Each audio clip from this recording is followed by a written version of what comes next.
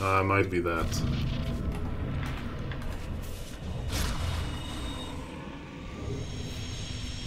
that was easy.